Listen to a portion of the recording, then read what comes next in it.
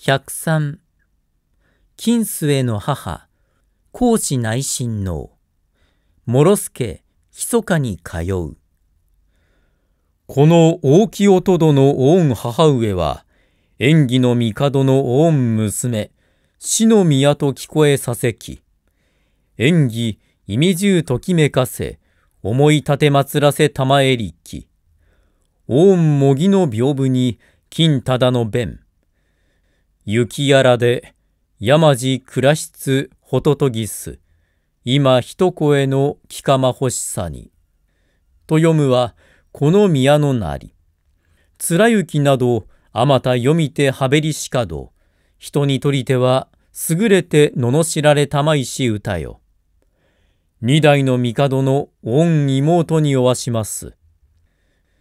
さて内積みして貸し疲れおわしまししを九条殿は女房を語らいて、密かに参りたまえりしぞかし。世の人、瓶なきことに申し、村上のすべらぎも安からぬことにおぼしめしおわしましけれど、色にいでて、とがめ仰せられずなりにしも、この九条殿の恩覚えの限りなきによりてなり。まだ人々打ちささめき、上にも木こしめさぬほどに、雨のおどろおどろしゅう降り、雷ひらめきし日、この宮、うちにおわしますに、天上の人々、死の宮の御方へ参れ、恐ろしゅうおぼしめすらん。と、仰せごとあれば、誰も参りたもうに、小野宮の音どぞかし、参らじ、お前の汚きに、とつぶやきたまえば、後にこそ帝、おぼしめし合わせけめ。さて、殿にまかでさせたてまつりて、思いかしづきたてまつらせたもうといえば、さらなりや、去るほどにこの大乗大臣殿をはらみたてまつりたまいて、意味中物心細く覚えさせたまいければ、マロはさらにあるまじき心地なんする。よし見たまえよ。と、男君に常に聞こえさせたまいければ。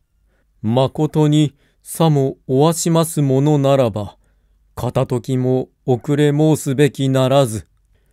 もし心にあらず、ながらへさぶらわば、すけ必ずしはべりなん。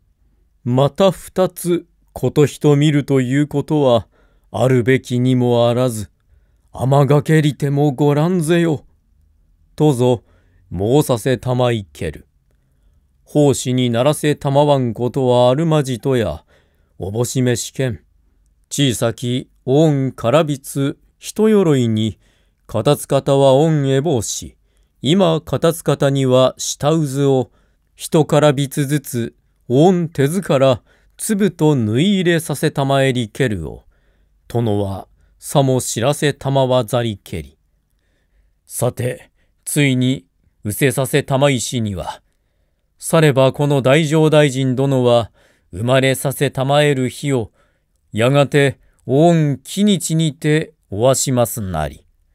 かの縫いおかせたまいし、恩えぼうし、恩下渦、ご覧ずる旅ごとに、九条殿、塩垂れさせたまわぬ折なし。まことにその後、一人積みにてぞややませたまいにし。